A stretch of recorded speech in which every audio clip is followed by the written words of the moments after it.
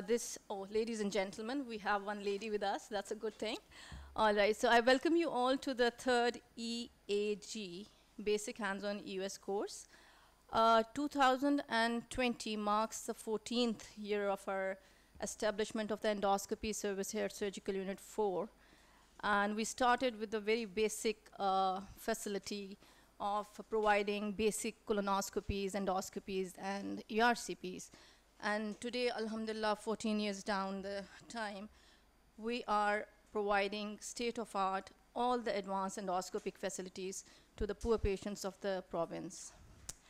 And this all has been possible uh, because of one person who had joined uh, Surgical Unit 4 uh, somewhere in 2006.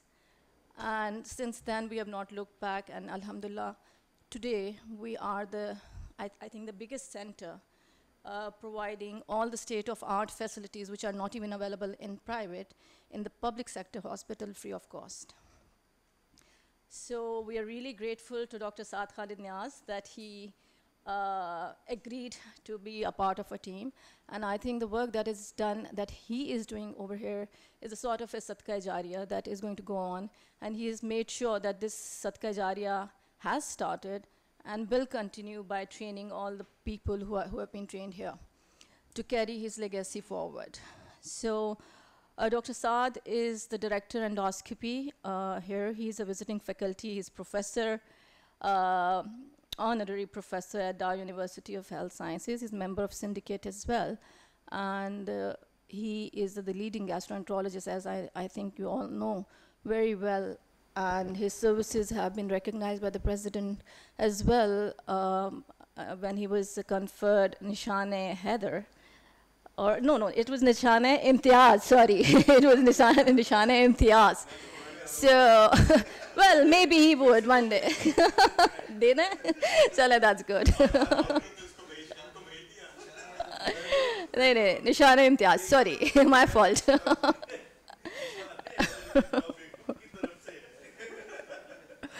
All right. So uh, thank you, Dr. Saad. So I would uh, take this opportunity to welcome our international and national faculty as well. Uh, Professor Riazul Nabi Tayyib is, again, one of the renowned uh, uh, gastroenterologists of our country. Uh, he's one of the first few who had started doing endoscopic ultrasounds in Pakistan. And he's a very good teacher as well, and it's his third course with us.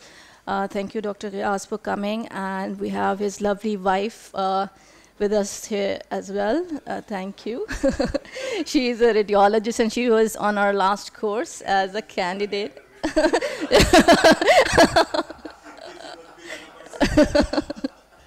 All right, and last but not the least, uh, Dr. Uh, Muhammad Khalid Hassan. He's uh, from Florida. He's assistant professor of medicine at the Florida Central uh, Central Florida Florida University or what what is it? Oh, he's now a consultant. Okay, he's a, he's a director of uh, Advanced Fellowship uh, Endoscopy Fellowship Program. no, I think you would you would fit into that category very well. so, at his young age, he is very accomplished, and he is holding the position of a director of Advanced Endoscopy Training Fellowship Program. And we are really grateful, Dr. Khalid, that you can take out, could take out time and fly all the way from Florida here. So he, he's told me that he would come no matter uh, what. Uh, even he was, uh, it's good thing that you were not there in 1965, otherwise he would, would have come then as well. So that's, that shows his passion for teaching and he's, a, he's an excellent teacher.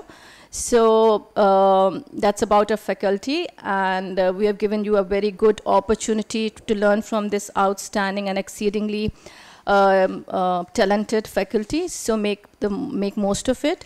Now I would request Dr. Um, Saad to please come and uh, give a brief introduction of this course. This time we have five hands-on and five observers, and Dr. Saad will now take over.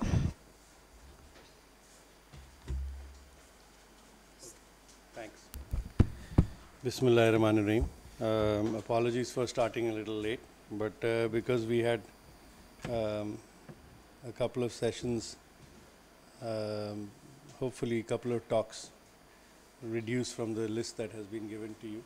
So hopefully we'll make up for the time. Other reason for delaying it was that one of our hands-on candidate, Professor Mansoor, who's uh, head of gastroenterology in, Lo- in uh, Liaquat National Hospital, is actually has is flying back from Umrah this morning, and uh, uh, hoping his flight lands on time. He said he'll come straight from the airport.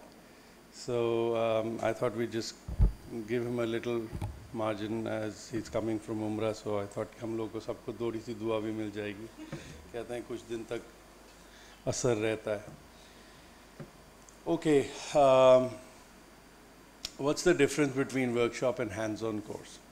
Um, workshop is where you go, obviously my senior colleagues here, I don't want to, but workshop is where you go and see experts do things and, and you learn while they're doing it. Um, some of them will obviously share techniques. Sometimes you don't. Sometimes you just see because you have multiple cases going on. Whereas hands-on course is basically where you focus on a trainee, limited numbers of trainees. So a lot of people have asked us, why do we have four or five candidates?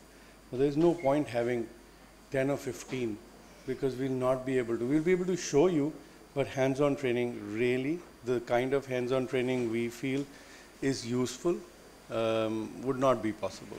We feel that four is enough actually. Um, five is, is by uh, is not by choice.